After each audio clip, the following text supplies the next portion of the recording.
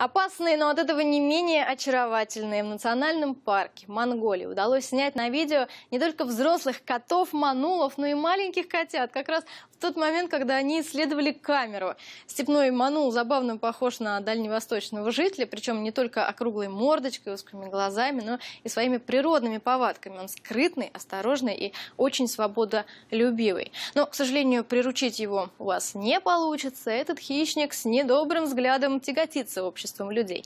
Даже прожив много лет рядом с человеком, манулы не идут с ним на контакт.